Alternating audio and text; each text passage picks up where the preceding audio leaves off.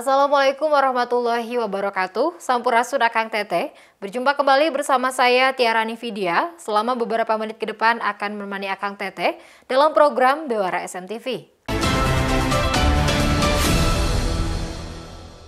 Seorang pemuda di Cirebon, Jawa Barat tega mencabuli dan melakukan persetubuhan terhadap adik iparnya yang masih di bawah umur. Perbuatan bejat ini sudah dilakukan berkali-kali selama empat tahun sejak sang anak berusia 10 tahun. Dalam melakukan perbuatannya, tersangka mengancam korban dengan menggunakan sebilah pisau.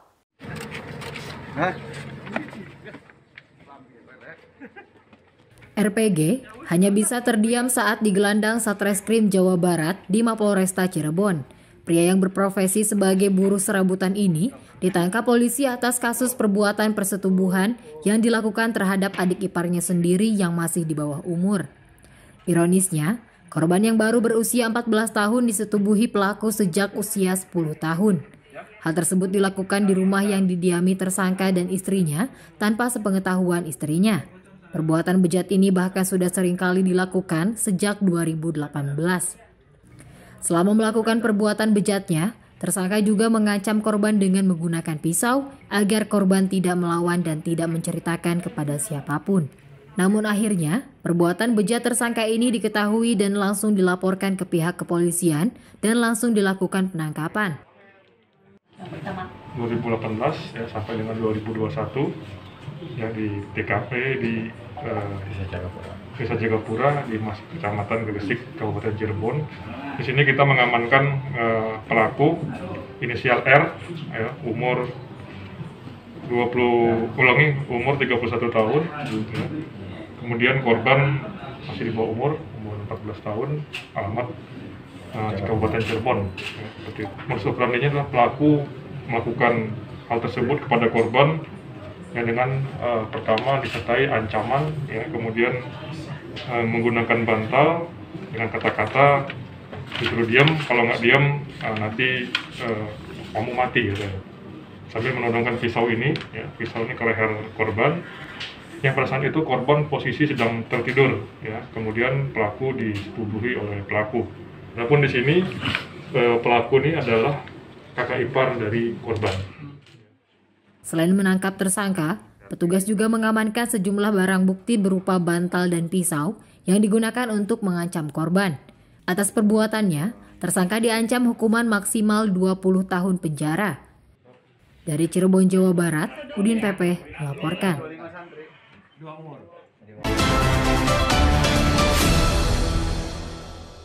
Menjelang pemberlakuan one way dalam arus mudik lebaran Idul Fitri, Wakapolda tinjau kesiapan rest area kilometer 166 Cipali untuk para pemudik nanti.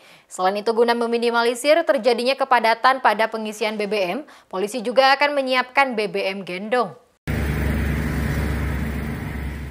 Menjelang pemberlakuan one way dalam arus mudik lebaran Idul Fitri, Wakapolda tinjau kesiapan rest area kilometer 166 Cipali untuk para pemudik. Selain itu guna meminimalisir terjadinya kepadatan pada saat pengisian BBM, polisi juga akan menyiapkan BBM gendong. Pemberlakuan one way dalam arus mudik lebaran Idul Fitri, Polres Majalengka menyiapkan langkah mencegah terjadinya kemacetan kendaraan pemudik di ruas tol Cipali kepada Wakil Kepala Kepolisian Daerah Jawa Barat, Brigjen Baza Zulfi beserta rombongan. Selain akan mengalihkan kendaraan pemudik ke jalur arteri, jika terjadi kemacetan di tol Cipali, Polres Majalengka akan menempatkan petugas di beberapa titik. Bahkan langkah mencegah terjadinya kendaraan pemudik mogok, Polres Majalengka akan menyiagakan bahan bakar minyak atau BBM oleh anggota Polres Majalengka. Kepala Kepolisian Resort Majalengka AKBP Edwin Avandi menjelaskan, pihaknya akan memperhatikan kondisi jalur arteri, Selain ruas tol Cipali, jika ada kemacetan dan akan menyiagakan BBM gendong untuk mencegah kendaraan mudik mogok. Arteri tetap kita perhatikan, jalur tol juga tetap kita perhatikan, ter terutama untuk e, nanti apabila kepadatan di jalur tol terkait dengan e, antrian untuk mendapatkan BBM, kita bisa alihkan mereka yang belum mendapatkan BBM untuk sementara lewat jalur arteri.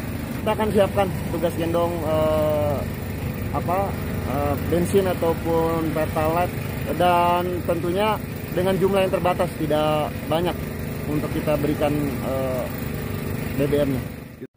Selain memeriksa kesiapan Polres Majalengka, Wakapolda Jabar Brigjen Banza Zulfi dan rombongan memeriksa juga fasilitas yang ada di rest area dan berharap agar pelaksanaan perbaikan jalan yang ada di kawasan rest area agar segera rampung sebelum arus mudik lebaran. Dari Majalengka, Jawa Barat, Udin Pepe melaporkan.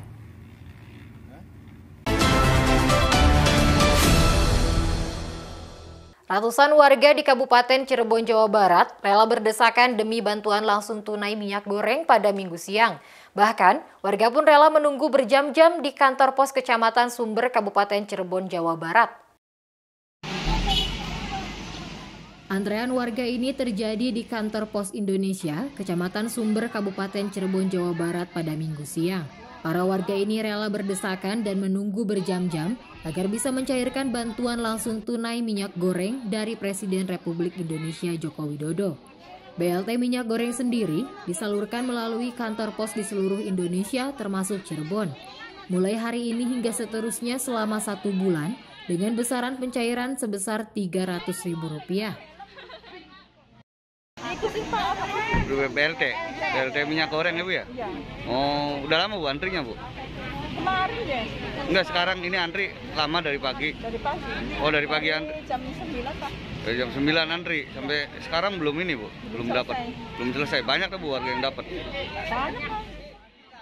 Kantor Pos Indonesia sendiri menyediakan sekitar 3,2 juta bantuan BLT minyak goreng untuk Provinsi Jawa Barat dengan tiga mekanisme pencairan, yaitu dengan datang langsung ke kantor pos, dikoordinator melalui komunitas, dan diantar langsung ke rumah bagi masyarakat jompo dan disabilitas. Eh, kalau kami PT Pos Indonesia itu kan mempunyai tugas untuk menyalurkan bantuan dari presiden ya uh, untuk bantuan minyak goreng maupun untuk bantuan uh, sembako selama satu bulan yang diberikan tugas kepada PT Pos Indonesia pada umumnya dan kalau kami di sini adalah PT Pos Indonesia untuk wilayah Jawa Barat.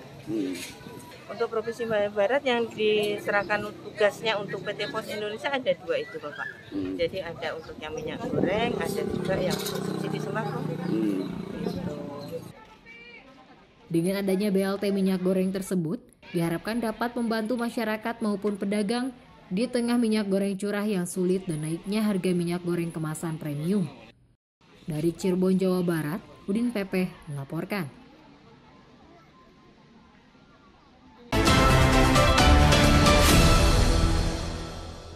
Komunitas Ikan Hias atau Dufi Sumedang Jawa Barat menggelar kontes dan pameran ikan lohan berskala nasional yang digelar di Gor Graha Insun Medal Sumedang.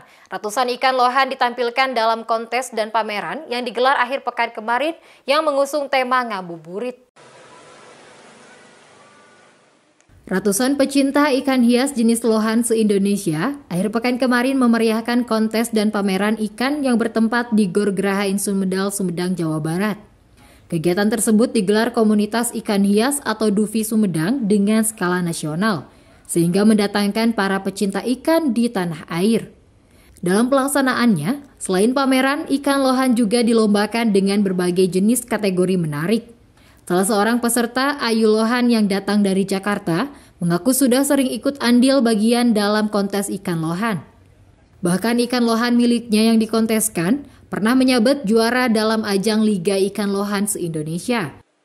Sering ikut kontes ini? Udah sering. udah lima tahun. Lima tahun. Ikan udah lama ya? Udah, dari kecil. Uniknya buat saya mah uh, ininya apa namanya? Warna sama mutiaranya hmm. yang paling unik mah. Terus ada kalau ini kan FM free marking, hmm. nggak ada markingnya, jadi uh, apa namanya? Nggak terlalu ini ya apa maksudnya nggak terlalu kelihatan mewah juga gitu biasa tapi apa namanya ada karakter tersendiri lah Sementara itu, Ketua Dufi Pusat menyampaikan kegiatan seperti ini baru pertama kali digelar saat bulan suci Ramadan, khususnya di Kabupaten Sumedang dengan tema ngabuburit. Antusias peserta yang datang dalam event ini mencapai 151 peserta yang datang dari 16 kota di Indonesia, seperti Sumat seperti Sumatera Barat, Pekanbaru, Lampung, Jakarta, Bekasi, Bandung, Depok, Banjar, dan daerah lainnya. Ya, memang di kita ini jadwal di jadwal itu belum pernah ada ya di bulan Ramadan, tapi DPC eh, Sumedang Korwil Sumedang siap melaksanakan di bulan Ramadan dengan tema ngabuburit. Jadi baru kali ini di Sumedang. Makanya diadakan untuk event di Sumedang ini sebenarnya buat ngedongkrak warga Sumedang supaya hobi nggak sekedar hobi gitu. Jadi ya, hobi yang bisa menghasilkan uang, terus hobi yang bermanfaat seperti itu. Berapa kategori penilaian di sini? Kategori penilaian itu banyak. Ada beberapa kategori penilaian itu untuk dari yang utamanya dari mutiara, dari body, dari eh, apa namanya kepala yang jenong itu, terus dari pintail, dari muka, dari marking juga itu ada. Dengan kegiatan tersebut, diharapkan dapat meningkatkan kembali gairah penghobi ikan lohan dan dapat mendongkrak UMKM di daerahnya masing-masing. Dari Sumedang, Jawa Barat, Usep Adi Wihanda melaporkan.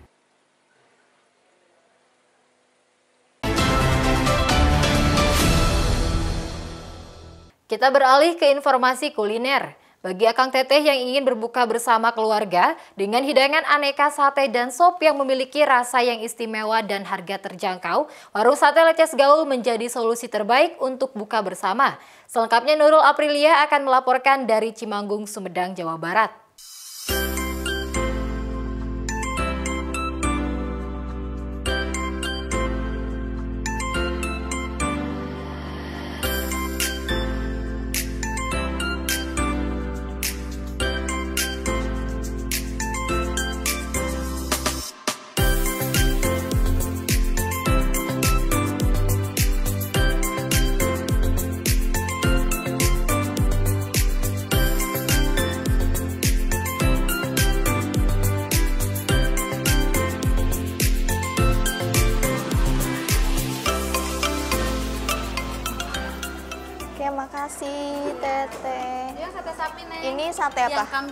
Kambing. Ini yang sate ayam. Ini ayam. Iya. Oke. Oke. Ini sop kaki. Sop kaki ini ya. Ini sop sapi ya. Ini sop sapi oke.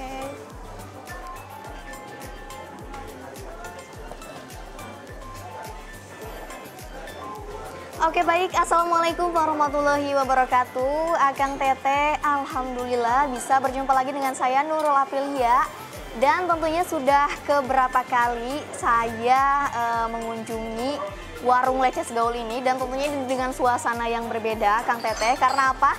Karena ini merupakan sebuah kebahagiaan juga Karena saya bisa berbuka puasa dengan menyantap menu-menu makanan di warung Leces Gaul ini. Seperti yang Akang Tete lihat, seperti yang pemirsa lihat semua bahwa ini di depan saya ini ada banyak menu dari warung Leces Gaul. Di antaranya ini ada sate sapi, ini ada sate sapi, terus ada sate kambing, terus juga ada sate ayam, ada sop iga sapi dan sop kaki. Luar biasa dan tentunya ini sangat wanginya menggugah selera tentunya eh, sebuah kebahagiaan juga karena saya sudah sudah bisa mengunjungi kembali ke warung Leces Gaul ini dengan suasana Ramadan.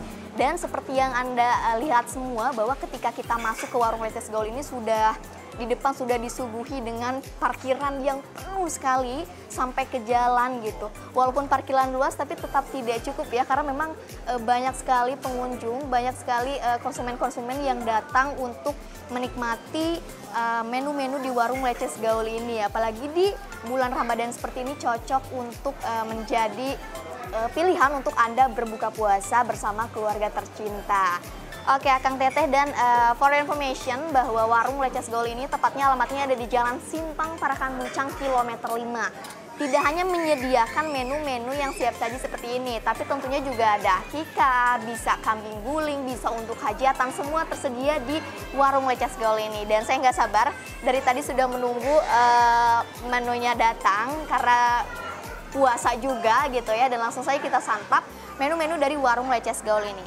Dan yang pertama ini saya akan coba ada sate ayam. Sate ayam dari warung Leces Gaul ini.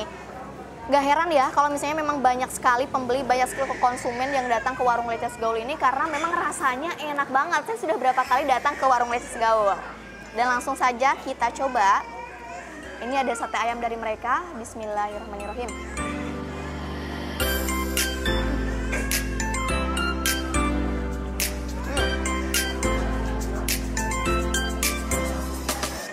Dagingnya lembut dan bumbunya khas banget.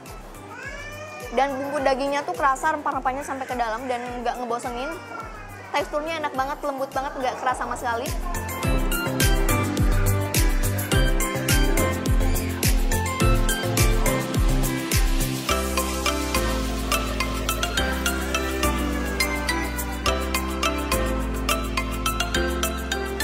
Untuk akang tete semua yang memang menyukai daging kambing, daging sapi juga tersedia di sini. Dan ini ada daging kambing ya. Langsung kita coba. Hmm. Ini bumbunya benar-benar melimpah banget. Langsung kita coba sate kambing leces gaul. Bismillahirrahmanirrahim.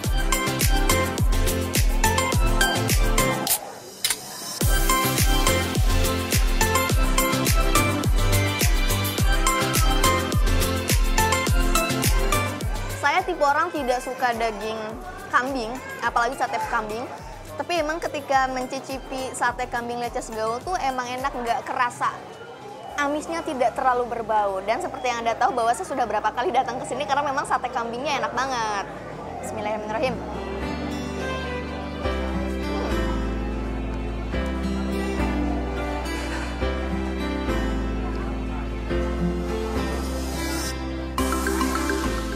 Sekarang ini sate sapi, sate sapi leces gaul ya. Kita coba.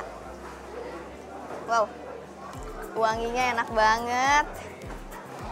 Ini tidak tidak dihimbau ditonton siang hari ya. Karena di bulan puasa kayak gini nggak bisa untuk nahan tidak makan sate di leces gaul ini. Ini sate sapinya Bismillahirrahmanirrahim.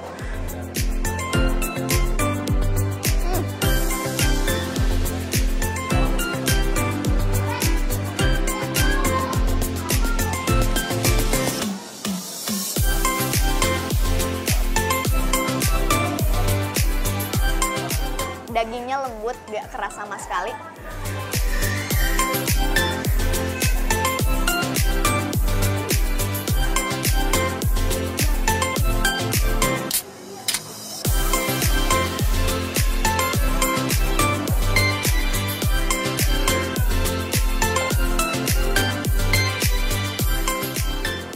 Tadi kita udah cicipin sate. Sekarang kita move dulu ke sop iga sapi. Sebenarnya saya udah tahu rasanya ini enak banget. Tapi karena emang lagi puasa kayak gini, saya BM banget makan sop iga sapi leces gaul. Wow.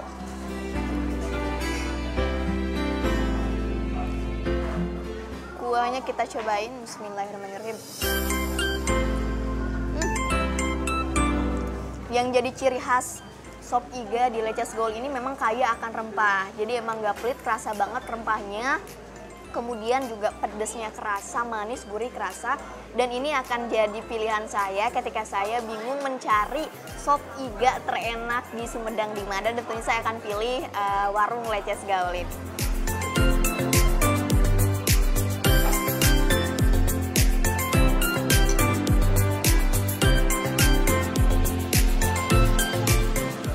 Ini dagingnya kita coba.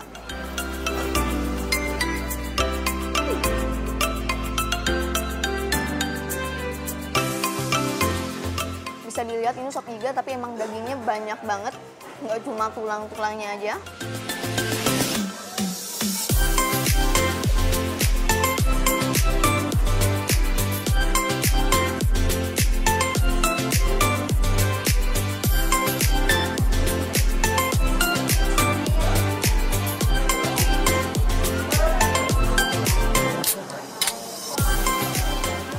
Assalamualaikum. Waalaikumsalam. Bapak sehat Pak? Mangga salik. Alhamdulillah, alhamdulillah, alhamdulillah. Gimana? Sewarna? Sehat? Alhamdulillah. Ya. Agak kaget ya Kang Tete, saya lagi enak-enak ini makan sop iga dari Leces Gaul langsung didatengin ownernya langsung. Di depan saya tentunya Kang Tete lagi bareng sama Pak Haji Eet Sunaria. Ya. saya udah kenal ya, karena udah berapa kali ke sini gitu ya. Sama Pak Haji Yayat Sunaria, beliau merupakan owner atau pemilik dari warung Leces Gaul ini. Bapak gimana kabarnya sehat? Alhamdulillah sehat. Alhamdulillah ya. Luar biasa. Tadi saya pas masuk sini ini di parkiran udah penuh banget ya. Emang Luar biasa. bulan puasa. Hmm. Yang udah tuh udah ada pengalaman Betul. lima tahun ke belakang tuh tiap bulan puasa. Kalau jam 12 siang tuh meja-meja tuh udah habis di booking. Ah, udah habis di booking. Jadi yang udah eh, daftar tuh ya terpaksa di luar di mana gitu ya. Tapi kalau bisa eh, sabar tuh apa nih? Ini tempatnya nggak muat. Oke. Ini cuma masuk 300 orang. Emang satu kali masuk. Kalau jam bukber, ya emang kurang lebih 300 orang. 300 orang. Iya, jam. Dan itu tuh sudah ada bookingan tuh dari siang hari. Dari siang hari. Sampai udah penuh gitu, full Udah jam booking. 12 udah habis Oke, booking. nah jadi Akang Teteh nih untuk Akang Teteh yang pengen eh, buka bersama bersama keluarga tercinta di warung Leces Gaul tuh harus booking beberapa hari sebelum waktunya. Enggak, dari pagi aja. Dari pagi aja tuh, karena apa? Karena takut kehabisan bangku, takut kehabisan nyaman. meja. Betul, biar nyaman juga, biar di dalam gitu. Itu kan ada lesehannya. Betul. Tapi enggak lesehan semua. Di luar disediakan lesehan juga ya? Disediakan lesehan yang Oke. baru tuh, kurang lebih 30 orang, 40 orang. 30 orang dan berarti ini kapasitasnya bisa sampai 300 orang. Iya, jam Luar dalam. tuh 300 orang kurang lebih. Oke. Nah, eh, Pak ini untuk di bulan puasa seperti ini tentunya pasti ada eh, peningkatan dari segi berapa kilonya nih eh, daging sapi dikeluarkan gitu ketika bulan puasa bagaimana tuh Pak? Alhamdulillah emang udah ada apa tuh patokan yang udah ke belakang, Hmm. Dua ke belakang. Kalau mulai tanggal 15 puasa, jam bukbernya tuh emang sibuknya cuma 4 jam. Jam 5, jam 6, jam 7, jam 8. Sibuknya itu. Oke. Cuma 4 jam. Terus kalau masalah sate itu meningkat tajam. Alhamdulillah. Alhamdulillah. Kurang lebih 10.000 tusuk habis 10.000 tusuk satu hari. satu hari. Luar biasa. Berarti kira-kira berapa kilo tuh Pak ngabisin Ya, dua daging? kintal kurang lebih. Dua Itu- kintal? Itu termasuk Hmm. eh, sate kambing pertama, sapi, ayam, Oke, luar biasa. kurang lebih 10.000 tusuk. sehari bisa menghabiskan 10.000 tusuk akal teteh kurang lebih berarti sekitaran 2 kintal seharinya Kurang lebih. kurang lebih 2 kintal luar biasa Eh, nah Pak tentunya kan memang jika tahun kemarin bulan puasa tahun kemarin memang eh, corona masih agak sedikit ada. gitu Tapi jadi buka sih buka kan. buka tetap buka gitu Hmm, tapi tentunya diatur ketat betul gitu lah. Hmm. Kalau sekarang eh, bisa dibilang ya hampir udah bebas gitu lah. Betul. Tapi tetap eh, pelaturan pemerintah saya laksanakan, pelaturan aparat setempat saya laksanakan. Berarti karena sekarang sudah mulai melandai dan memang Iya. alhamdulillah eh, meningkat lagi gitu Pak dari lima tahun ke belakang juga ya luar biasa. Nah Pak kan tentunya ini di warung Leces Gaul tuh tidak hanya menyediakan eh, sate, sop iga, tapi ada buat Pesanan. akikah. Pesanan apa aja tuh Pak? Eh, warung sate Resgau menyediakan makan di tempat juga menyediakan pesanan. Hmm. Eh, hajatan, akikah, kambing guling. Kalau mau pesan kambing guling ya harus ada waktu satu hari dua hari buat cari kambingnya yang pas, muda banget, gemuk banget gitu. Oke, jadi tidak hanya Diantar sampai lokasi. tuh diantar sampai lokasi, nggak hanya akikah tuh terima matang, udah matang. oh udah, udah matang mateng. semua gitu. Hmm. Oke, jadi Udah tidak lengkap gitu. Oke. Tidak hanya dine in, tapi juga tadi bisa eh, menerima pesanan untuk akikah, terus Iya. juga ada kambing guling juga ada, Iya. luar biasa gitu ya. Nah, Pak ini untuk seporsi ini, ini daging ini kan apa sapi ini, Sapi, kalau ya. salah ya. Berapa nih Pak seporsi gini? Seporsi isi 10 tusuk. Kalau Hmm. sate sapi, sate kambing 30.000. Kalau harga daging tuh pas begitu mau menjelang puasa tuh naik, naik kurang lebih 10.000 per kilo, Hmm. Dua, kadang 15.000.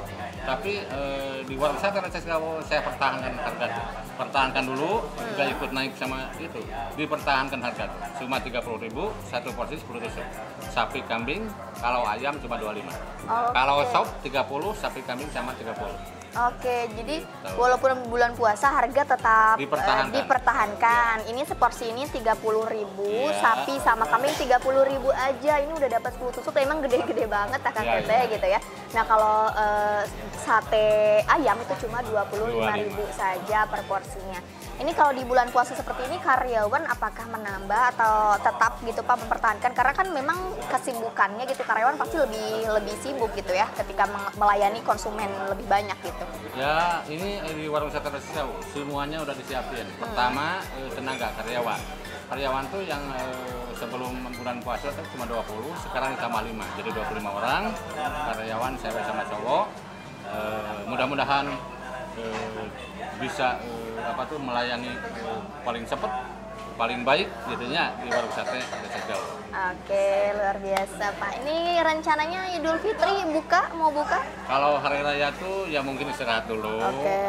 Emang eh, pesanan sih banyak, cuma gimana itu karyawan semua mau hari raya kan. Merayakan hari raya itu dengan keluarganya masing-masing. Betul. Saya libur dulu paling satu hari dua hari lah. Oke. Nah, jadi Akang Teteh agak dipending dulu, sabar dulu ya karena hari raya. Dua hari paling lah, Dua hari tutup atau libur gitu ya di hari raya. Luar biasa Pak Haji ya. Pak Haji ini untuk di bulan puasa, di bulan Ramadan seperti ini ada menu tambahan atau tetap mempertahankan di warung leces gaul ini? Oh, kalau menu masih tetap, Masih tetap. yang ada. Emang banyak yang apa tuh yang minta ini buat eh, apa tuh eh, tajilnya apa, kolak Hmm, apa, apa gitu. Tapi saya belum apa tuh belum disiapin. Betul. Jadi masih mempertahankan menu-menu yang udah ada. Oke. Rasanya masih dipertahankan yang udah, yang udah masuk di lidah pelanggan. Tapi alhamdulillah pelanggan yang lama maupun maupun yang baru alhamdulillah meningkat. meningkat luar biasa. Emang bener, Akang Teteh saya lihat juga tadi dari depan. Ya. Wah ini masuk parkir di mana? Parkiran tuh sudah luas disediakan Iya, iya. space yang besar, tapi ternyata sampai ke, ke jalan juga itu membuktikan bahwa memang sudah tidak bisa dihiraukan lagi bahwa Iya. memang eh, menu-menu di sini tuh lezat dan worth to buy, worth to eat gitu ya luar biasa. Oke, Kang Teteh, eh, barusan saya sudah berbincang dengan owner dari Warung Leces Gaul dengan Pak Haji Ed Sunaria dan untuk Akang Teteh yang belum mencoba ke sini harus banget cobain yang penasaran langsung aja datang ke Jalan Simpang Parakan Muncang kilometer 5 Kabupaten Sumedang Jawa Barat. Dan Pak, aduh terima kasih ini saya mau langsung Sama- lanjut sama, makan Mak. boleh? Oke, lanjut. siap.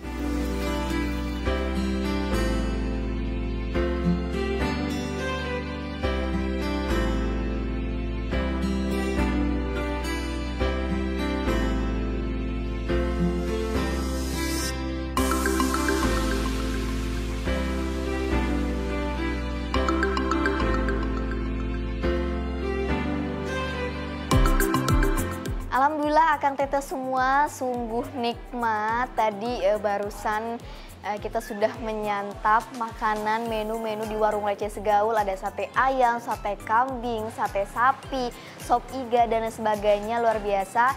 Memang puasa hari ini sungguh sangat nikmat dan tentunya ini recommended banget untuk kalian yang mencari tempat untuk buka bersama bareng keluarga ataupun sahabat kalian saya rekomendasikan untuk langsung saja datang ke eh, Warung Leces Gaul yang alamatnya ada di Jalan Raya Simpang Parakan Muncang, kilometer 5 Kabupaten Sumedang, Jawa Barat. Dan eh, terima kasih sudah menemani saya kulineran di Warung Leces Gaul. Eh, saya Nurul Aprilia pamit undur diri dan sampai jumpa. Wassalamualaikum warahmatullahi wabarakatuh.